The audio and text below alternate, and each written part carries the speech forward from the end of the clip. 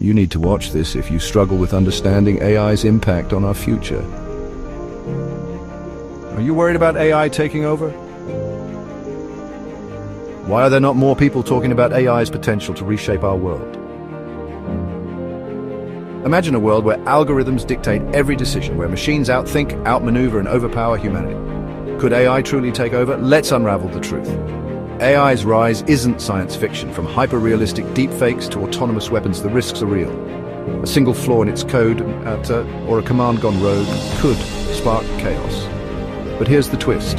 Design the rules. Ethical AI, transparent algorithms, and global cooperation can steer this power responsibly. The future isn't written by prioritizing safety over speed and humanity over profit. We ensure AI remains a tool, not a tyrant. The AI revolution is here. Will we control it or let it control us? The choice is ours. Stay informed, stay vigilant. You need to watch this if you struggle